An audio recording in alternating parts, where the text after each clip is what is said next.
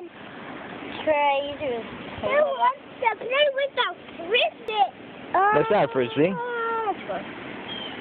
No. Look, it's so good. How far do you go? Like two miles. Really? Yeah. No, Hmm. went to New Orleans. That's about 900 miles. And No, about 700 miles. Because just walk to New Orleans in two seconds.